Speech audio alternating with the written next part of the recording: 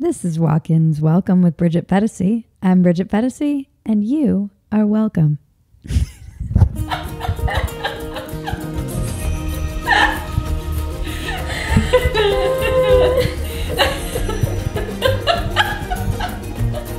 know the drill. Please subscribe, rate, comment, share, reach out, tell your friends, send smoke signals, whatever. We love your feedback and we want to hear from you. This week on the podcast, I'm excited to have Ben Shapiro back on. Ben Shapiro, for those of you who live under a rock and don't know, is the founding editor in chief and editor emeritus of the Daily Wire and the host of The Ben Shapiro Show, the top conservative podcast in the nation. A three time New York Times best-selling author, Shapiro is a graduate of Harvard Law School and an Orthodox Jew.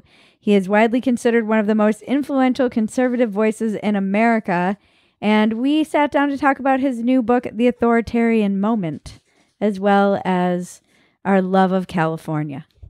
Hi, Ben. Hey, how's it going? Good. How are you? Oh, my kids are exhausting me. You're out of California. How does it feel? it is definitely a good thing. So your your stress level drops about 25% the minute you leave the borders of California. I was It's like- wondering about this. It, it's it's it's totally true. I mean like first of all, in California there's just this weird feeling like everybody especially with the masking right now, there's this weird feeling like everybody's just on your ass all the time, right? Yeah. Like you're just you're, you're walk, like we visited Sacramento and you walk around to establishments and people it, it- like if you're not wearing the mask, people are giving you the glares and the dirty looks. And that's kind of writ large what politics is like in California. Like among your social group, you're tolerated, but then if you're out in public at a party, it's like, oh, got to be careful what I say. And if you go anywhere else in the country that's not New York or Chicago, maybe, then everybody's like, okay, well, maybe we disagree, but that's okay. We're allowed to disagree. That's fine. Yep. Eh, I'm walking around Florida. Some people are masking, some people are not. I would say the majority of people at this point are definitely not masking. Mhm. And if you choose to wear a mask, nobody's, you know, yelling at you. And if you're not masking, nobody's yelling at you. It's like, wow, people actually treat each other like human beings over here. And I, I think some of that is politics and some of that is just the nature of being in, in big cities. So I'm, I'm in suburbia here in Florida. I'm not, you know, directly in the middle of a major city. But in California, I, I noticed this a long time ago. In in LA, where I grew up, if you're walking down the street and you are, you know, walking down the sidewalk, somebody else is coming in the opposite direction, and you meet eyes, your first move is always to look away, right? Because it's, Yeah. it's almost like eye contact is insulting and weird Yeah. in LA. So uh, I would say, you know, 15 years ago, I was visiting Oklahoma City for something, and I was walking down the street, and some lady was coming the other way, and we locked eyes, and I did the LA thing of looking away, and she goes, "Hey, how are y'all?" And I was like, "Whoa, what just happened?" I'm so Yeah. confused, and that's kind of every day outside of California. Just people say hello to each other. People are nice to each other. There's a certain baseline level of human treatment that you receive just for being a human. So that's very helpful. I, I Mhm. don't feel like me li- like first of all, the Jewish community that I live in is is quite wonderful. I had a good community in LA, but it was it was an island of you know religious community surrounded by people who really did not like any of those values. And in Florida, my religious community doesn't have values that are all that different from sort of the mainstream, and so you're just not looked at weird. So it's Right. it's, it's much more it's much more comfortable. Plus, no homeless problem Right. very clean. I can let my kids play on the street without me watching them. Uh, they can take their bike to friends' houses where we live. It's it's pretty great. I mean, it's it's sort of what you were promised when you were growing up, but that it was going to be like for your kids. Right? I, I was promised. It's the vision that you had when when you were a Yeah. kid of what like you could let your kids leave for two hours and not really worry about them. And that, that's that's where I live now, which is great. Because before, if I, I let my kids out the front gate of our house, there were at least twenty five percent shot be a heroin addict out front shooting into his feet. Yeah. That's one of the things I've noticed leaving is my nervous system seems to calm down just immediately. And I don't think I'm aware of how much stress I'm under just walking my dog. And every single time I walk my dog, I have to reroute because there's a crazy homeless person that I need to avoid, or it just feels, I think I underestimate how dangerous it feels kind of constantly. And watching the city, I mean, you've been, you were born and raised here, and I've been here for almost two decades, and watching it deteriorate. I think you have to have a level of like close your heart a little bit to even be able to manage seeing that amount of human suffering just everywhere on the streets all around you. Well, for sure. And it, it tends to actually make you kind of reactionary, right? Because on the Mhm. one hand, it's like, look at these people who are suffering, right? Living literally in their own feces, open needles, uh, you know, pooping on the streets. And many of them are mentally ill. Many of them are drug addicts. I know we're not supposed Mhm. to talk about that with regard to the homeless. We're supposed to pretend that they're just free spirits who are living on the street because they were because they couldn't afford the rent. But the reality is that a lot of these people have severe problems. And leaving them Mhm. out to live on the street is an act of cruelty. It is not an act of kindness. And so you're, you're balancing that with the fact that in California, because a lot of these people have problems, you could be walking down the street and somebody could attack you. I mean, Oh, yeah. I, I have friends to whom this has happened. There have been very publicized story about this happening on the streets of Los Angeles. And so, on the one hand, it's like I'm sympathetic to your plight as you sleep on this park bench. On the other hand, I don't want to walk too close to that park bench because I don't know who you are and what you're about to do to me. And so, Yeah, none of that is a solution. I know it's definitely it's a very strange feeling of terror and compassion trying to balance those two. And I went with Shellenberger. We went to down to Venice when they were clearing some of the houses out, like the homeless out of Venice. And then we went down to Skid Row. And it was like the drastic difference in those two places. It does feel on the west side, particularly in Venice, like a kind of lifestyle like Yes. people who are just kind of like LARPing. There's a lot of mental illness. And then the Skid Row, I mean, it's massive. It's 47 blocks now. That's crazy. Or And- no, and- it's bigger than that. But there were 47 families on Skid Row, they were saying. Yeah. Families with children. That, It yeah, was- it's insane. It's uh, first of all, I don't know how it's not child endangerment to literally be living on the street with children. Like, so CPS will show up at your home if you don't believe in trans pronouns, but yeah, but if you're living on the street in open filth, then apparently that's totally fine. And and LA also allowed you know to happen what they had not in the 1990s, which was these these have been endemic problems in LA for a very long time, but they did not allow it to escape particular areas. So there was Skid Row in LA, and that's been there for pretty much as long as I've been in LA, yeah, right? it's Which is just 30 huge years now. but it was it was they they allowed it to spiral out of control and then they allowed it to invade the suburbs. So where I was Yeah. living in LA was like pure suburbia, right? I was not living in a commercial area. I was not living in downtown LA. I was living in like North Hollywood area. We are semi close to a grocery store, but otherwise it's a pretty heavy residential area. And it didn't matter. You're still seeing homeless people walking up and down your street every single day. I mean, we had we literally had incidents where there, there was one time we walked out the front door of our house, which is a pretty nice house, and we opened the gates, and literally across the street, there's just a guy lying face down in the sewer, like Yeah. Edgar Allan Poe. And Yeah. you're like, this is not like I wouldn't let my wife walk around outside in these circumstances at dusk, right? It just it would not be a safe situation for her. I certainly wouldn't let my kids do that. And meanwhile, here I am in Florida, and I'm like, I don't care what time it is. My kids want to take their bike around the cul-de-sac. Enjoy. Like there's there's really Yeah. no problem here.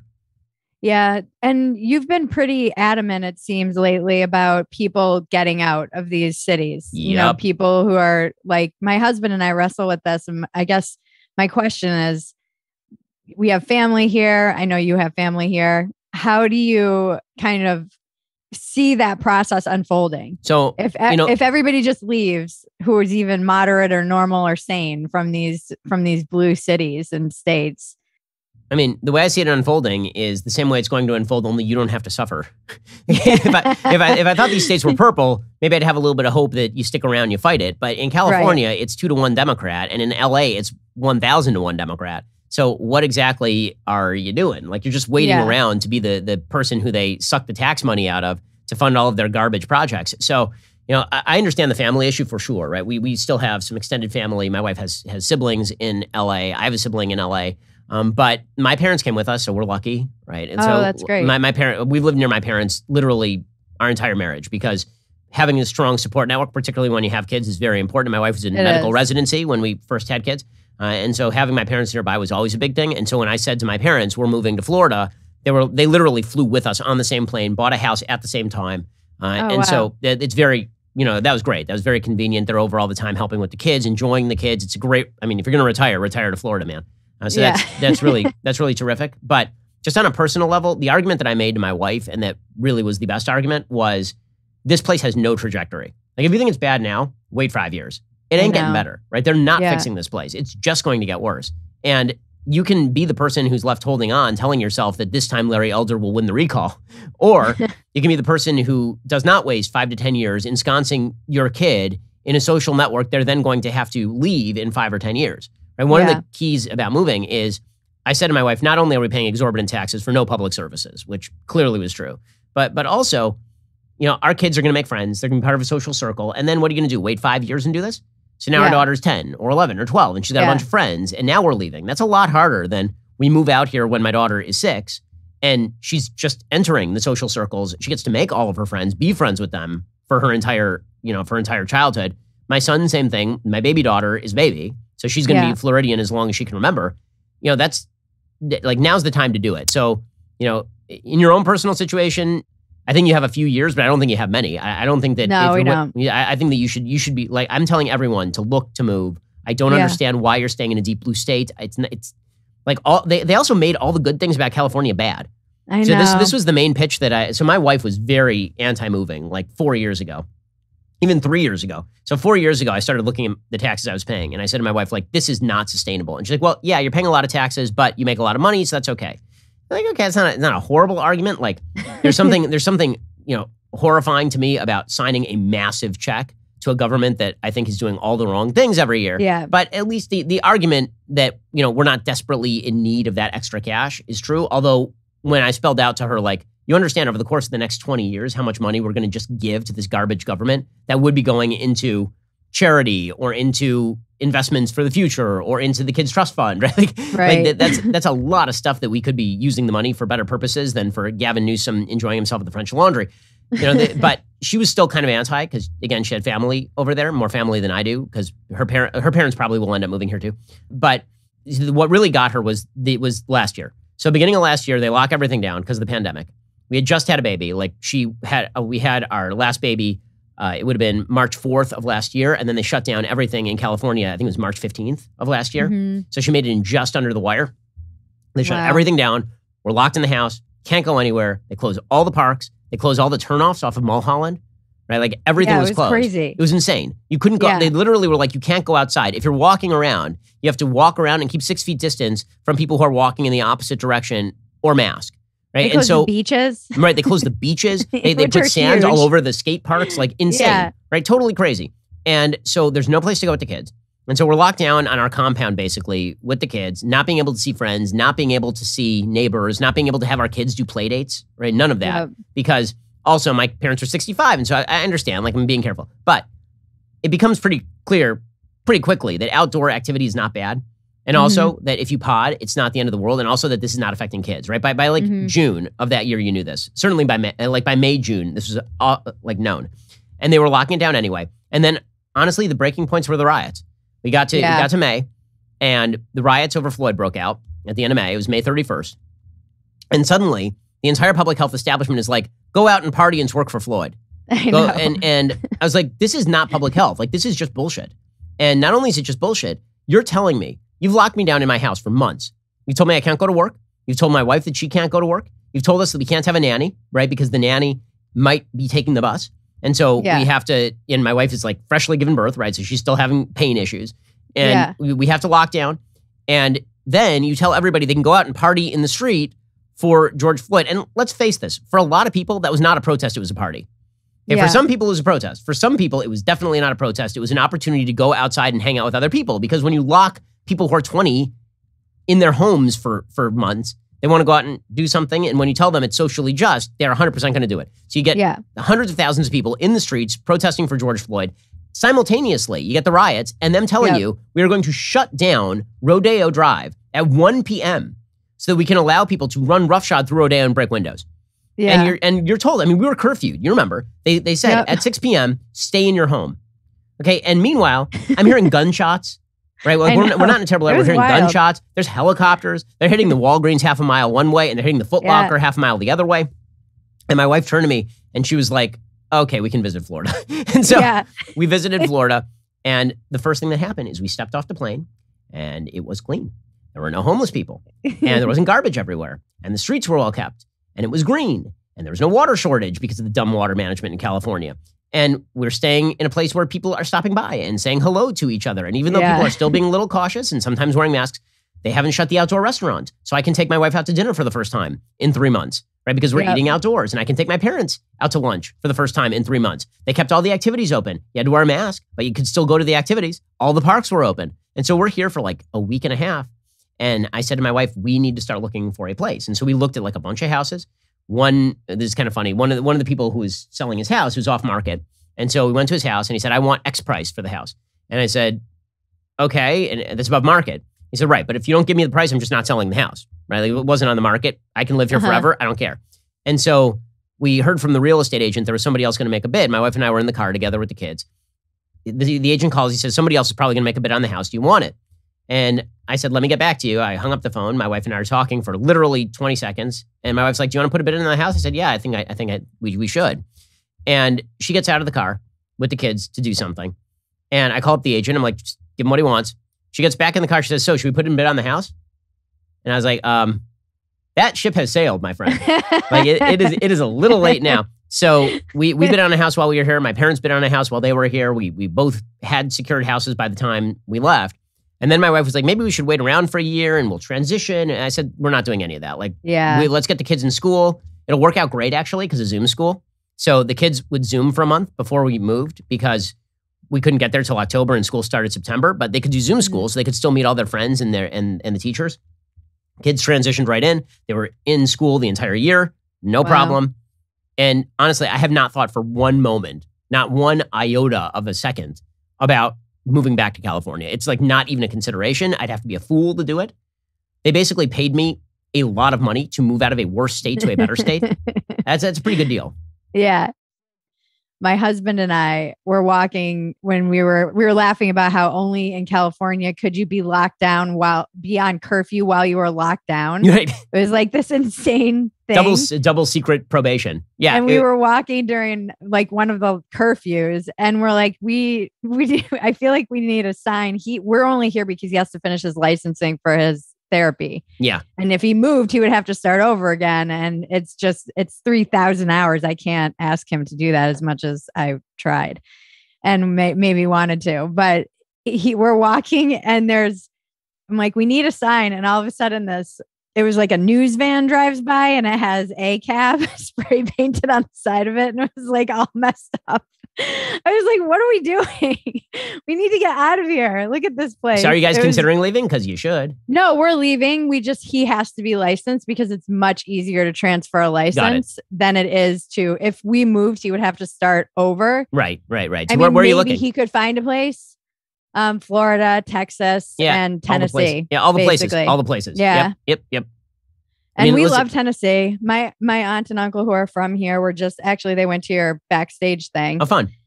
and they were just visiting Tennessee. And my aunt was like, everyone's so warm and everyone's so friendly, and the Yep. South is just so different. And It's true. It's true. I mean, the people are much nicer outside the big cities. Because, Yeah. and you understand, I mean, in the big cities, again, the threat assessment, like your, your lizard brain threat assessment in big cities is, is on all the time because you just don't Yeah. know so many people and you see so many people. But in these other places, you can create your own kind of local community where you know everybody. Yeah. and you're going to like local establishments, local Yeah. churches, right? The local, like localism. You, when you're in California, like growing up in California, you never think about federalism. It's Right. like you really never think about it. You never think about like California versus the federal government because California was just a mimic of the federal government. And then you go to a state where people actually care about localism and federalism becomes a major issue. You're like, oh, Right. okay, I, I see why localism actually matters. And so if you're in New York or California, I think there's just a completely different mentality with regard to the federal government. Because the federal Yeah. government is just New York or California, but big. And right. when you're it's true. when you're outside of those places, it's like, no, this is a very, very different place. And I don't want those people running my life. I don't want those people running my state. Now, you, Yeah. you, you can see why there's this whole conversation about, you know, should we be separate? co- Like, look, we're not going to be separate countries. There's not a way to facilitate that. Even if you wanted to be separate countries, it's it's kind of silly talk on a practical level. But on an ideological level, it is true that the divide is really massive right now, and massive in some really negative ways for the blue states. And I tweeted, I, I tweeted this morning about you know how I think that there the big gap in American life right now is about the the assessment of risk and how people assess Yeah. risk. And gonna I, I really think that's what it is. what do you attribute i mean there's so many questions i want to ask you about this one one i want to circle back to which is about the medical institutions how do you restore credibility and moral authority to the public health officials that lost so much of it over the pandemic and george floyd and all of that I mean, honestly, it, I I think public health officials should not be recommending policy. I think public Right. health officials should be like your your doctor, right? Give you the risk factors of particular policies and then your decision. Right? When you go to your doctor, your doctor will say, "I think that you need a surgery." And Right. maybe you trust your doctor enough that you go, "Okay, let's do it." Or maybe you say, "I need a second opinion." But your doctor Right. doesn't say, "I'm mandating that you get a surgery." right? That's just the way it's going to be. Like no one does that. What the doctor will say, I mean, doctors are legally bound to tell you about the risks of surgeries, right? Because of liability. So they'll tell you, like, look, this, the risk is minor, but X, Y, and Z could happen.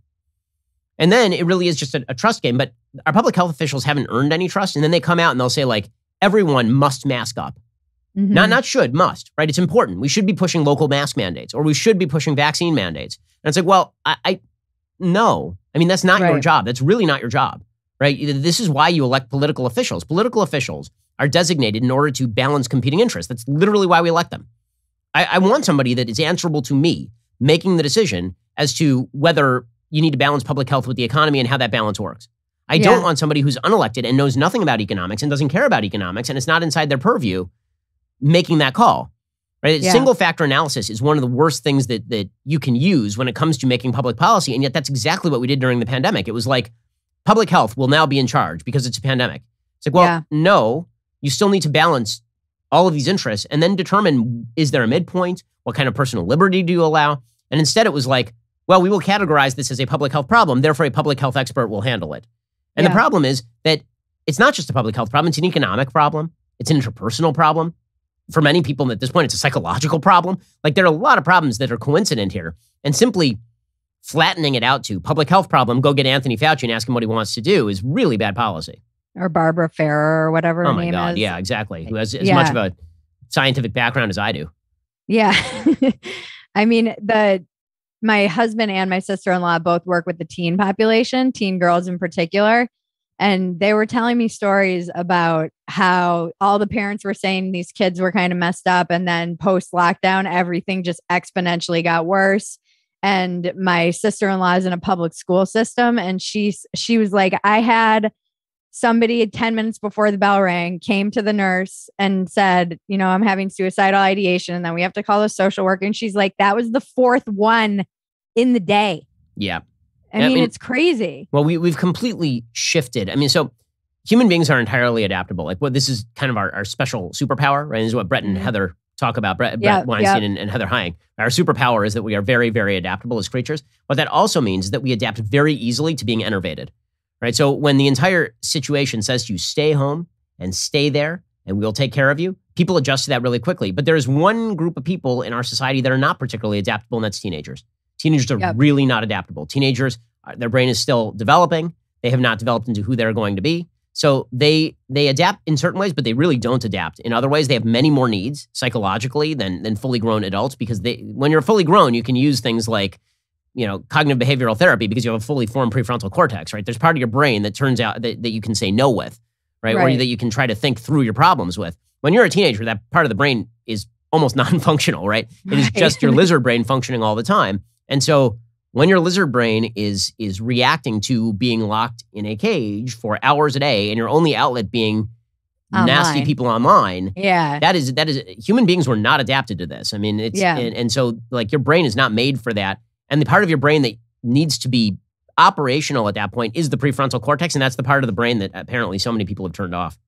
they were saying at my sister-in-law's place they had a whole meeting and they were talking about just the rising suicide rates with teenagers and these seem like things that people mentioned and talked about and worried about and now that you're actually seeing these numbers wh- there's no talk or Yeah, be quiet. Be quiet. No, you're undermining the public health authorities. You get this a lot with with kids and masking also, right? So for years, Yeah. it has been accepted psychological knowledge that little children need to see faces. Right? This has Yeah. been this has been known forever. My wife used to work in a neuroscience lab. She's done a bunch of neuroscience papers, and this is specifically what they researched was the impact on small children of not seeing faces. Right? This is why if Mm. you have orphanages in the third world and those orphanages don't have enough adult interaction, the kids grow up really, you know, screwed up in, in upsetting ways you need little kids to see faces. They need to have human interpersonal interactions. This is the they learn mirroring. I mean, you literally Yep. have functions as a human being that are present in primates. Mirror functions, right? This is how you Mirror learn how, what kind of Yep. faces to read and how you actually identify all of that. And all of that just went out the window. You weren't supposed to mention any of that because masks are inherently good. And not only that, you can do it indefinitely. This should be the new normal now. And it's like, this is why I, I keep coming back to, you know, what I said earlier. The country is now splitting between people who are completely risk averse and believe that th- there are systems that will always take care of them, and people who are kind of risk seeking and are willing to live their lives. And sometimes that breaks down in negative ways for the risk seeking, right? Maybe they don't take risks seriously enough, and so you get higher infection rates and more COVID deaths. But in other ways, it breaks down the opposite, right? If you are a person who believes that the government is going to take care of you no matter what and all risks should be alleviated, you're giving an awful lot of control to a very small coterie of people to tell you what to do. That's going to mean less entrepreneurship. It means less planning for the future because planning for the future is inherently a risk taking activity, right? You're pregnant, you're going to have a baby. You're planning for the future. That's a risk taking activity, right? Yeah. That it, because you are you are right now foregoing particular things that you could be doing in favor of future benefits Yeah. right? You're absorbing risk. That's what that's what building for the future means. If I invest in a bond or if I invest in a stock, that is me foregoing pleasure in the here and now, the money that I'm spending, in favor of a payoff down the road, right? That's that's that's me allocating risk. If you say I'm never going to take a risk, what you end up with is a completely stagnant society. And I think that is the the great gap in American society right now, a stagnant society that sees that the the great goal ought to be redistribution because that's the only thing that you can do in a stagnant society is you can have everybody be more equal if if more miserable. Yeah. or you can be in more innovative society where it's not about redistribution. It's much more about risk taking and rewarding risk taking that is positive and punishing risk taking that is negative and creating incentive structures for all of that. There's a reason like i keep coming back to the stat and no one wants to talk about it which is insane to me. The united states has 50 states right? I mean like these are great little labs of democracy. You can tell which policies worked and which ones didn't. You can compare. Like it's a great sociology experiment. All of this has been and some of it's been done on the public health level, where it shows that, for example, mask mandates have not been particularly effective. Some of it has been done with regard to social distancing. Some has been done with regard to vax rates and all of that. But one area where it's been completely done is with regard to the impact of your attitude on COVID and regulations that you've undertaken with regard to economic policy. I cannot get over the fact that, well, the left likes to talk about the striation of COVID death by the number of COVID deaths, really not even by per capita, because per capita it's a little messier, but number of COVID deaths by red versus blue or vaccination rates by red versus blue. They never want to talk about economic success by red versus blue. Because Mm. if you look at the worst places in America, economically speaking, right now, the ones with the highest unemployment rate, the nine states with the highest unemployment rate plus DC, all blue. Okay, then if you look at the 23 states with the lowest unemployment rates, 17 are red, four are purple, two are blue. right. That is not a coincidence. Right. Yeah, that's that's what's really been interesting for me to observe is this little mini authoritarian that was triggered and it's that seems like the split to me. The people who are are live and let live and make your own choices, take your risks, you're all adults and then people who are just okay with telling people what they should put in their body for instance and mandating these things and and demanding that people all get in line and behave and to come back to your book i i think that this authoritarian like you said that we're we're susceptible to accepting it but it seems like we're also susceptible to being little mini penny petty Ah, tyrants Absolutely. Well, I mean, again, I think that does come down to what's the best way to avert risk? The best way to avert risk is to tell everybody else around you what to do. Because right i- i- y- you're you're sometimes a risk to yourself, which means that you need somebody to tell you what to do.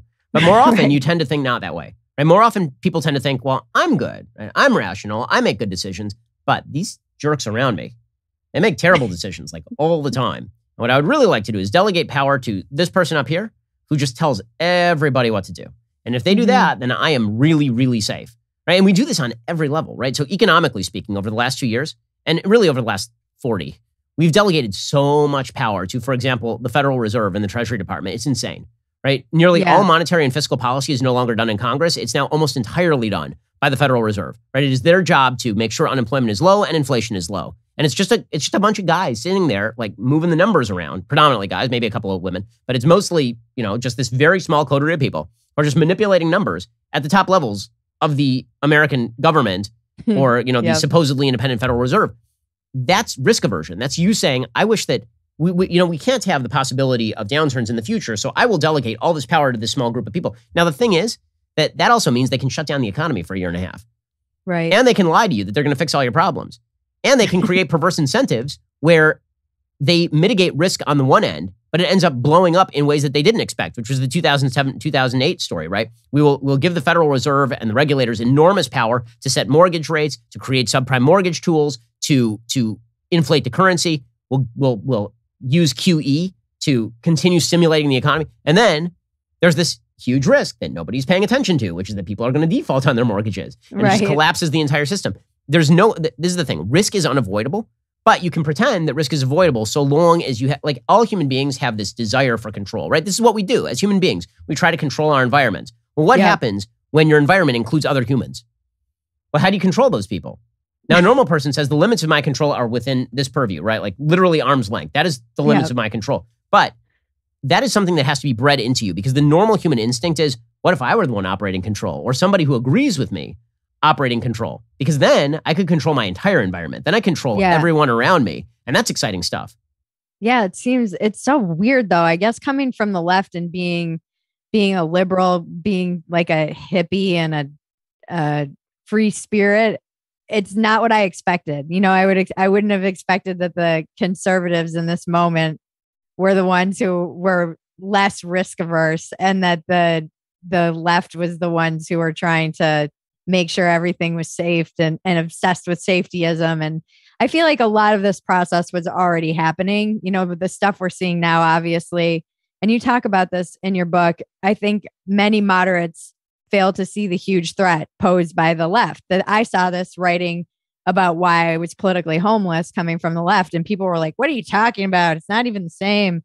And I'm I was always a lot more terrified just because of the institutional power they have. And you talk about how it's a small minority, but it doesn't feel that way when every institution is in lockstep. Right. And again, that that that I keep coming back to the risk aversion things. I really think it is. So many of these institutions, some of them are dominated by people who are true believers, right? The universities are true believers. Some of the media are true believers, right? The Nikole Hannah Jones contingent at the New York Times. But there are a bunch of people who are not true believers. The corporate heads are not true believers. And I don't think that Zuckerberg at Facebook or even Dorsey at Twitter, who's closer to it, uh, certainly not the heads of Coca-Cola or AT&T. Like these people are not true believers. No. Like the, the head of American Airlines, not a true believer. They're just afraid, right? And and Right. this is this is the, the cowardice. So my business partner Jeremy Boring is fond of saying cowardice doesn't get you killed, cowardice gets your friends killed, and that's that's right. I mean, because and you see this all the time is that you'll see corporations and they will cower, and it doesn't get them killed. It just gets all the people who disagree with them who work at their company killed, right? Yep. Or or it affects their stockholders in some way that they don't really care about. And and so it's all about risk aversion. And you can see the decision tree for a lot of these corporate heads, and you can it, it's it's so fascinating to watch how the decisions get made. So you have a group of people who are very loud and say they're going to boycott your product or give you bad press, and they're working in cahoots with the New York Times to feature you on the front page if you don't do X. And so you think to yourself, okay, fine, I'll I'll do X, and then they'll and then they'll leave me alone, right? I'll just do it, and then they'll leave me alone. And then it turns out that there's blowback. And so Right. your next move is, okay, well, I can't go back to being neutral because if I'm neutral, then I get hit by the New York Times too. So the next move is to say that I'm in favor of what we will now call stakeholder capitalism, right? Not shareholder capitalism, because my shareholders are pissed at me. Stakeholder capitalism, where everyone who's affected by my business has a has a has something to say about the company, and I will answer to them, which really means I will answer to no one, right? right. And and so you, you get this consistent doubling down. This is why I say in the book, like the right is going to have to use tactics that I don't like, because Mm. otherwise the right is just going to lose. So the most obvious thing here is, you know, Jeremy and I, when we founded Truth Revolt, one of the things we, which was designed at going at companies and telling them not to advertise on leftist products, we said at the time, we don't want to do this. We think this is bad. But mutually assured destruction. There's only one worse thing than having nukes, and that's your opponent having nukes and you not. Right. So Right. w- if you want to, if you want these corporations to go back to neutral and advertise with everybody, for example, or perform the All Star game in Georgia, or not speak out on whether a particular locality should have a transgender bathroom law, then you really need to pose a threat from the other side. Like the, the right, Right. for a long time said, like, we don't like these tactics, so we won't use them. That's fun and games up until the left uses those tactics in order to completely hijack these institutions, get all of your friends fired, and then disinvest from the areas where where you live, right? yeah. I was having a dinner with Abigail Shrier, and I think it was the night I was radicalized because she was talking about, you know, her inbox is just Yep. filled with parents and people and and all of our inboxes are filled but hers in particular. Oh, yeah. and it gets dark on on her end i think very dark. But she was saying you know and you mentioned this too just how good americans and moderates and center right and people who are working and raising kids they will go along to get along for the most part. And she's she was saying that they don't understand they're up against activists who are at this 24 7 and will never rest. And they're not, you can't just be on the sidelines really anymore. And I think a lot of Americans understand this because they've been dragged into, even I'm a great example of this, someone who is pretty apolitical and got dragged into this whole culture war knowing very little about any of it and you're like what is going on and she was she really made me think about how it's true you know you can't just you can't just sit silently because you will get bulldozed over eventually Yeah, absolutely. And they, and they want to do it also in like the most private spheres of your life. That's the part that's Yeah. truly crazy. I mean, what, what Abigail is talking about is the hijacking of, as a parent, your ability to say to your child, you're a member of the sex to which you were born, right? That's what, that's, that's I mean, literally what Abigail was talking about. Right. It's Yeah. your kids, right? Like, and, and you, and the society is now geared towards saying that you're a bad parent and maybe we'll take your kid away from you if you, Yeah, if you that- say these things, which is totally insane. I mean, Abigail's written about this stuff on Bari Weiss's site. You know, Yeah. she she talked about the the one that struck me was that case. I believe it was in Seattle of the Muslim that father. was the when the state comes for your kid that piece yeah, exactly. That, Yeah. that I mean, and by the way, I mean, I don't think you have to be a prophet to be you know predictive in this particular business. I've been predicting for literally years this was going to happen. I've been predicting Yeah. for years that they were going to come for the kids, that the state was going to be mobilized against institutions they don't like. Like this was the thing. The the original liberal pitch on a lot of this stuff was at least mildly understandable, and now it's just complete tyranny. So it went Yeah. from, for example, just to take a perfectly obvious example, it went from on gay marriage, you should leave two people alone in their bedroom who want to do what they want to do if they're not affecting you. Good argument. Very good argument. Then it went to, okay, well, you know, we feel like we should be able to have the same contractual arrangements kind of as default as a straight couple when it comes to wills and trusts. You're like, well, I mean, theoretically, you could do that outside the bounds of law, but okay, I guess, and that's civil unions. Then it was, well, you know, we just want to be called married because after all, how does that affect you? It's not going to affect your life. I mean, if we get married, how does that bother you? And now you're starting to edge into, okay, you're changing fundamental institutions and, and redefinitions. And so it does affect general societal standards, but at least you understand the argument. And then it went to, if you don't bake the cake, we want you put out of business, right? Right. If you don't, if, if you send your kid to a school that does not teach the moral equality of all sexual relationships, this means that you're a bad parent and a threat to the society. And you go, whoa. So we went from leave us alone in our bedroom to we would like to control how you educate your kids and take away your kids from you if you don't educate them properly. That is a real move right there. I, I mean, I found a lot of hope in your book actually. And one of the things that you said and and wrote early in the introduction where you talked about how buried in authoritarianism is its insecurity. And I loved that. It's just like something I've I've really clung to because I I find that some days it gets very dark and I have no I'm very I have very little hope. Probably because I'm in California. Yeah, so no, really. I'm It is a thing. I'm telling you, like it's a mental Yeah. thing. If you spend all your time online and in a place where everyone disagrees with you, it makes it very difficult. And again, I'm not living in like red central. Yeah. Right? I mean, I, I live in South Florida, which is kind of purplish. Right. The state of Florida is trending red, but it is not like fully red by any stretch of the imagination. I mean, I know a lot of people here who vote Democrat. I'm not living in West Virginia or or living in Tennessee with with the rest of the company, and yet everybody kind of treats each other like human beings.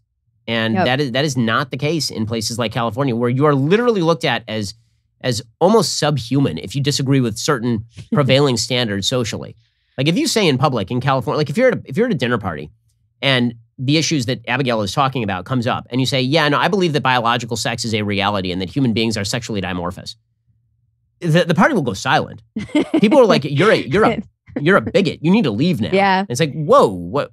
Really?" And the answer is yes. So, that's what's so crazy too to see these kind of mainstreamings of like Chappelle, for example. I it you saw this coming. I saw this coming two years ago. Yep. The kind of get, get Hannah Gadsby versus Chappelle is Yeah, the you were on real of this, culture yep. war. And then you see now it's anyone who liked the Chappelle show, which is 10 million plus people who urged who liked the closer, is a transphobe. Basically, it's the same thing they did to J.K. Rowling. By the way, it's it, you want to know something fascinating about that special. So Chappelle tells all these jokes that are supposedly transphobic, right? And everyone loses it. Like people, oh my god, what a bigot. He told two jokes in there that are pretty anti-Semitic. Okay? Yeah, I know. Like, he told, like his joke about space Jews. Like if you know anything about Jewish history, is like pretty full on anti-Semitic. Like the, the Yeah. joke that like the Jews voluntarily. I mean, what he's saying is the Jews voluntarily left Israel and then came back in and decided to And subject the Palestinians to Holocaust-like treatment. Like that's Right. really bad stuff from a Jewish perspective. you didn't see anybody from the Jewish community being like, God, we need to take Chappelle off the air. I was going to ask you about this because I didn't. I was laughing because I'm like, well, I think the Jewish population has a pretty good sense of humor in general. Yeah, we were all like, I okay, so I don't like the joke, you know. Uh, yeah. Like it's like it's an I kind of think it's an ugly joke, but he's a comedian. Like comedians tell Yeah. ugly jokes. Like, all right, and and Yeah. you know, like first of all, for the people who know the history, they're not going to think it's funny. For the people who don't know the history, they're really not even going to understand the reference. So it's uh, like, all right, what, whatever, you know. And and even if I disagree with the joke, okay, it's like what what I want him to lose his job over it. Yeah. I'll just say I don't like the joke, and then we move Yeah. on. like the, the the people who are doing Netflix, like first of all, it's going to be wildly unsuccessful because you've picked too big a target. You can't. No one is going to cancel their Netflix over Dave Chappelle. Like you couldn't even get enough conservatives to cancel their Netflix over cuties. You're not going to get people to to cancel their Netflix over Dave Chappelle. It just ain't going to happen. Right. What gives you hope? Can you give one or two examples of people or institutions other than you guys? And, you know, obviously, I think my, what I've noticed is that with moderate liberals, people who might be self censoring, silent, afraid, the ma- majority, it seems like they have to hear it from the right people sometimes. Yeah. Like Glenn Greenwald or Bari Weiss or the people who Agree. came from these institutions. Agree. So Like, I mean, I say in the book. be- I say in the Yeah. book that the hope of the country isn't going to lie on the right because we believe what we believe. And it's certainly not going to lie on the radical left for trying to destroy everything. It's going to lie with the people on the center or center left who have to make a decision. The decision is they agree with the left on a lot of policy, but they disagree on sort of fundamental human rights and how we get there and how we should treat each other. So, do they pursue utopia at the expense of those rights? Or do they say, okay, it might take us longer to get there, or maybe we'll never get there, but the rights have to be protected anyway? And Yeah. that's that's a real battle. So, now, a lot of the people that we've been talking, like Bari's an excellent example of somebody I disagree with on a lot of politics. In fact, I think with Bari, maybe the only things that we agree on are like foreign policy and wokeness. Those might be the only things that Bari and I agree on. Um, Uh-huh. But Bari is speaking to an audience that is, you know, needs to be activated. Uh, so Right. Bari would be some people like John McWhorter, writing for the New York Times, right? Who's sort of like a traditional, I think, liberal Democrat, but who is not up for the wokeness and he's not up for the woke battles. And th- those folks starting to speak up gives me a lot of hope. Uh, there's some university presidents who are, who are doing that sort of stuff. And again, what I'm seeing with the school boards right now gives me a lot of hope too. Like people who are realizing that this sort of policy is being baked in at the local level, and they realize I, I may not be able to challenge this if it gets to the federal level, so challenge it now. That that gives me a lot of hope as well. Even though they're domestic terrorists, Ben. The worst people, the worst people, you know, only only having I- their daughters allegedly raped in bathrooms. I, I don't know why that guy was upset. I mean, come on. I was saying the other day, it's not. It's it's more terrifying to me that kind of language because it's it. You know, everyone who disagrees with me is a Nazi.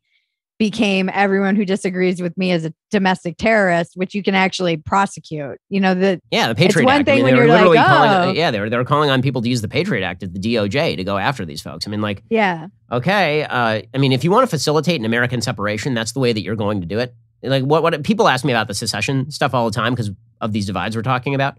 yeah And what I always say is that it's not going to go like a lot of people think it's going to go, right? Like, we're not as a country going to be shooting our friends and neighbors. Like, that's just not where we are as a country. And anybody who thinks that we are, I think, is out of their mind at this point, nor should Yeah. we be talking like that. But there will come a point where there's sort of a natural just no. And now what are you going to do about it? And I think that we're, we're quickly we're quickly approaching that point. I mean, it's I, I think governors are doing this to the feds right now. They're like, nope, we're just not going to do. Yeah. Come it, bring it. You know, you want to bring your feds down here and try and enforce this on 20 million Floridians? Like, enjoy, see how that works out for you, right? Like Yeah. Texas, the same thing. And so, no is going to become an extraordinarily powerful word. And you know, for my family and for my company, no was the word that meant we were getting the hell out of California. what gives you the most hope? that.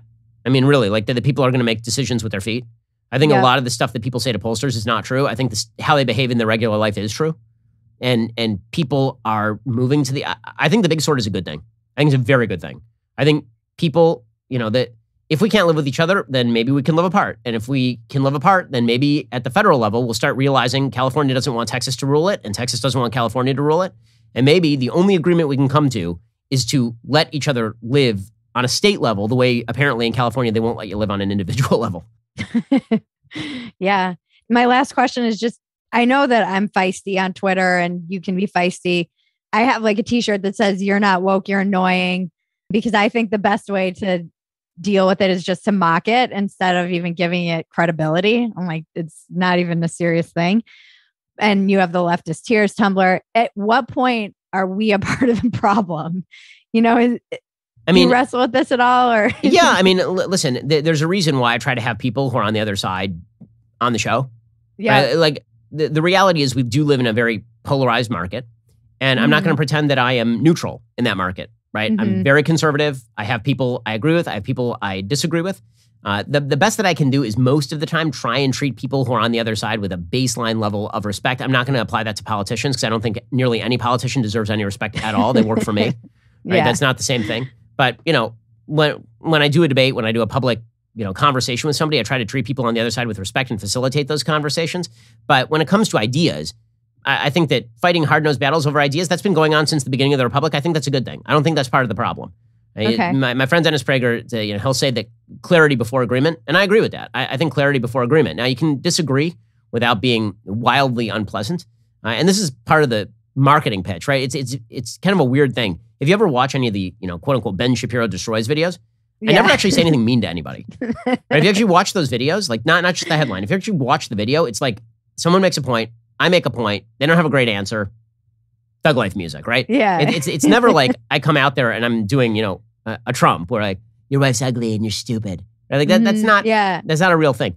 So I think that sort of stuff is not bad. I mean, like I I I recently did a debate with Ana Kasparian. It was I saw some of it. right, and it was like just normal and normal political conversation, and we disagreed and we weren't insulting each other, and I'm all for that sort of stuff. But I, I think that you know the the climate is uh, is not necessarily ripe for for that sort of stuff. But I think passionate political debate is a good thing. I think treating it as a bad thing or like polarization is itself bad. Polarization over what is always the question. Polarization Right. over issues is not necessarily a bad thing because if the opposite is a monopoly, a monopole, right? Like one perspective just dominating the other, I'd prefer polarization. But if what we're talking about is treating people like shit, I think that's a different thing.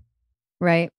Well, it's always a pleasure catching up with you. I appreciate your time. Where can everybody find you if they don't know, which would be shocking? Uh, well, you can get my podcast on any of the big podcast services, or you can check us out over at Daily Wire. And of course, you can follow my irreverent and uh, and frequently trended commentary over at uh, over at Twitter if you wish to waste hours of your day in unmitigated stupidity. You can head on over to Twitter.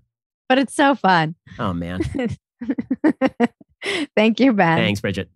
It's time for the weekly check in with Bridget and cousin Maggie. Do you live under a rock or are you just afraid to live? this is going to be my new. I was just talking to one of our future guests about how I want to start a master class on getting canceled.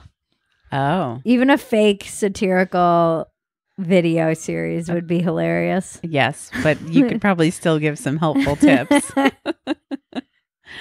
Uh, you're always. It's so funny to watch Bridget as she watches someone actively get canceled and be like, "Oh, they shouldn't have done that. Oh, no, that's not what you do." I can't tell you how many people I've reached out to over the years, Mhm. tried to stop them from making everything worse.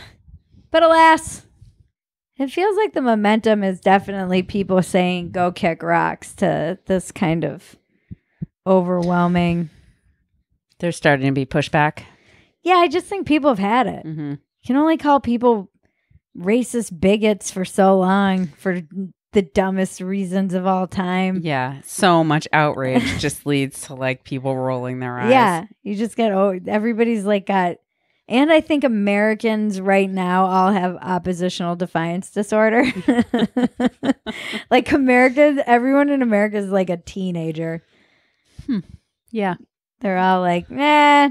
They're just tired. They're tired of being told what to do. They're tired of they don't trust the institutions. hmm If if they're on one side, they're gonna fight the opposite side no matter what. Mm. just to be defiant.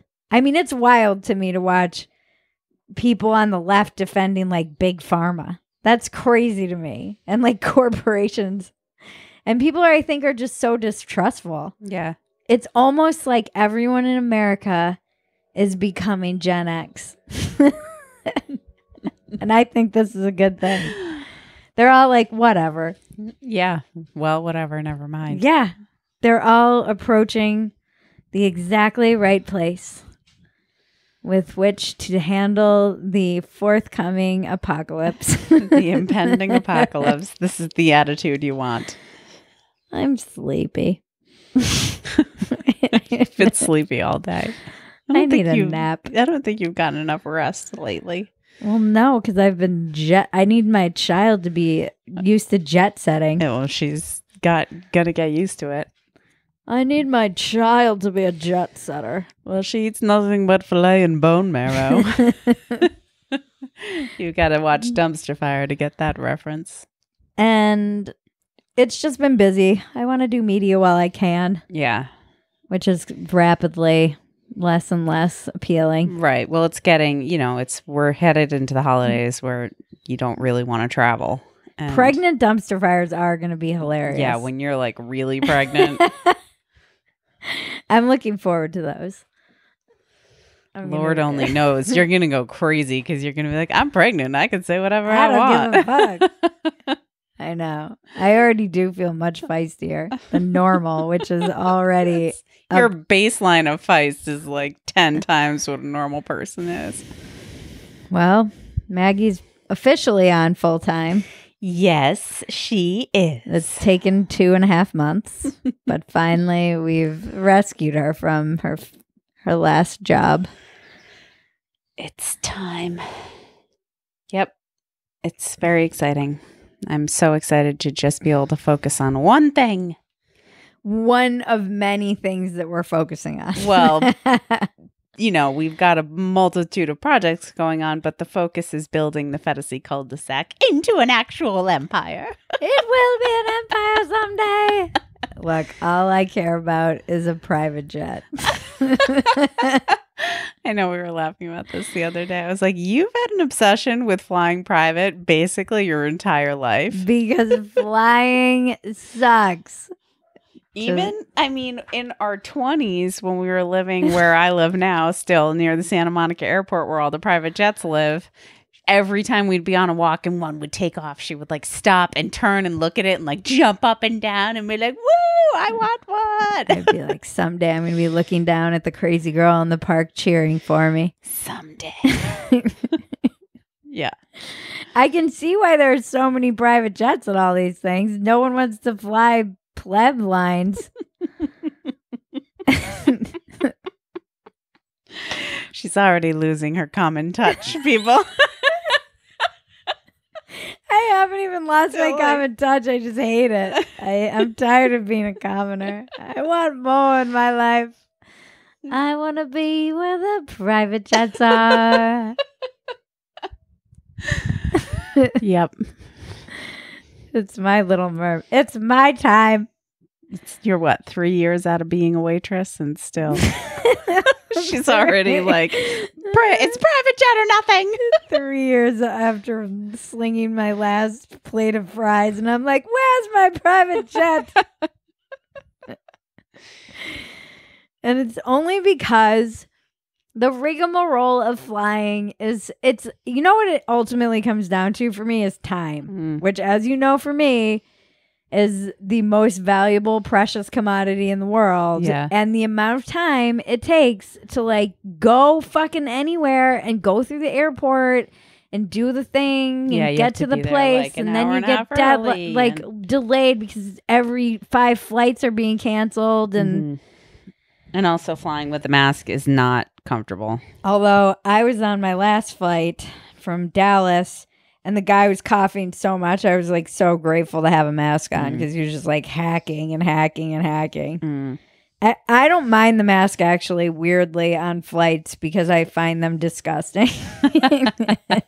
I just remember when I flew when we flew home i- in the summer. I didn't mind the way out, but the way back, I started to get. I started to notice how uncomfortable it was. But Mm. I'm also lucky that I don't have to wear a mask all day. N- normally, like that, in my normal routine does not require. Although that makes you less sensitive to them. Like Jaron, when we were flying to South Africa, when we had to wear the mask for freaking literally like no joke. I think it was probably 24 hours before we got to take our masks off, maybe more. Mhm.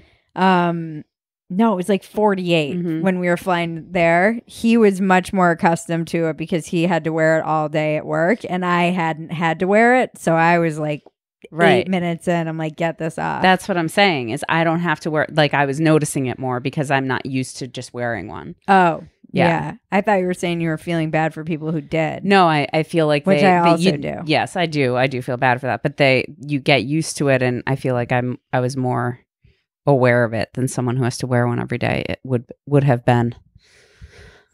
Well, Yeah. do you want to tell the people where you're going now? Well, I'll already. Oh no, I guess I won't. Yeah, it'll be. I'm in New York. That's where I will be. Now I'm going to New York. I'm going to New York because I'm doing Gutfeld, which will be tonight when this airs. Yeah, it will be Thursday night, the day that the podcast drops. Mm-hmm. Mm-hmm. At last. At last. I will be there. Yep. Apparently, Gutfeld is kind of a big deal. I live under a rock, so I have no idea.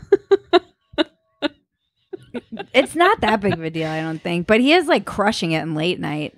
How do you feel about this show going I have it? no idea what to expect. Yeah.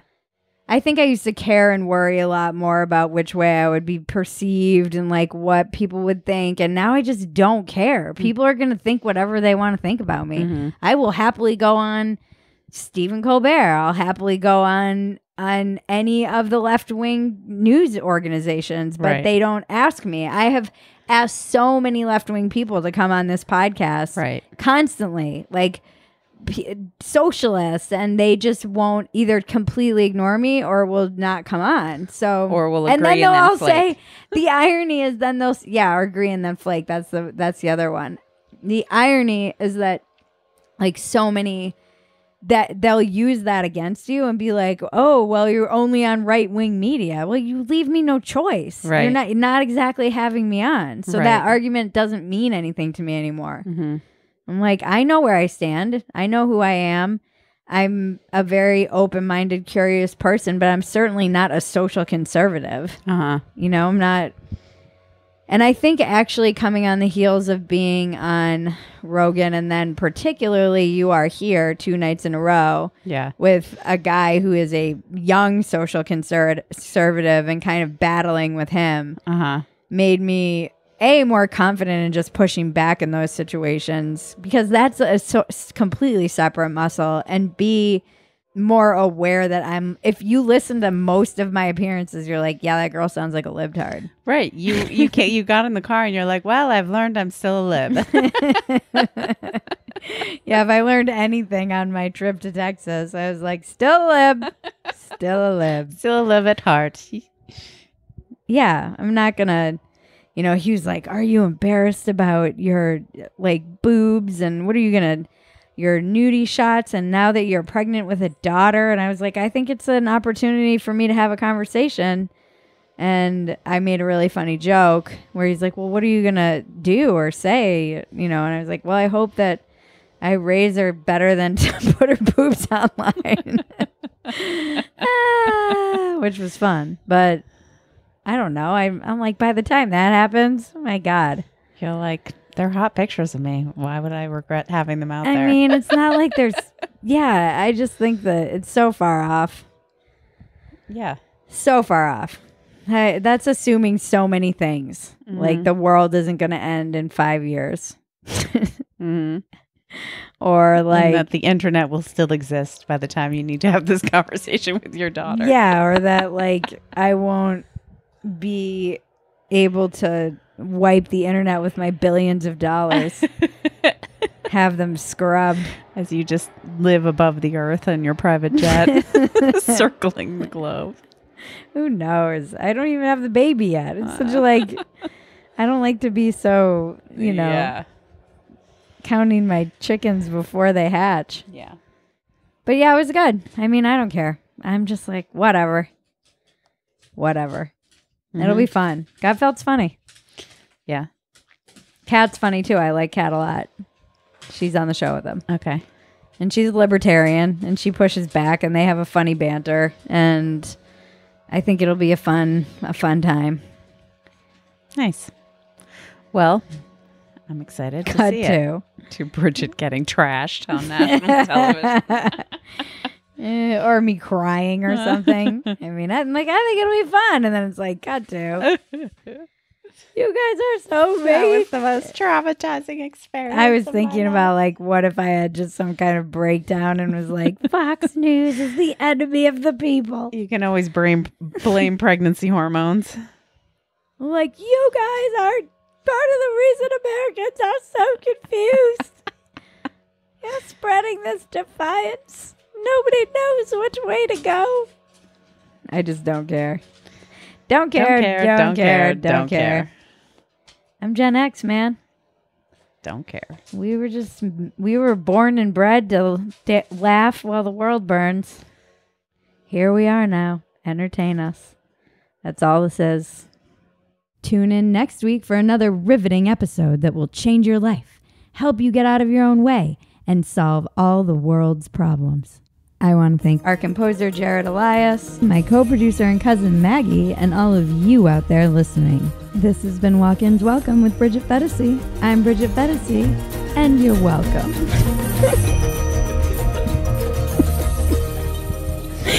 it's the dumbest line.